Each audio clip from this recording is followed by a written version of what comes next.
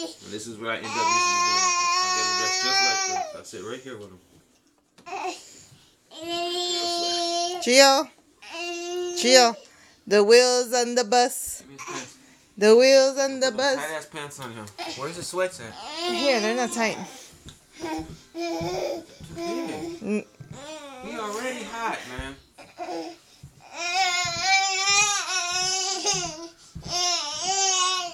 All right, all right, all right, all right.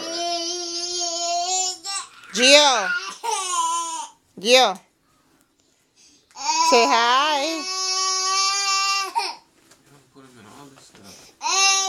You about to go somewhere?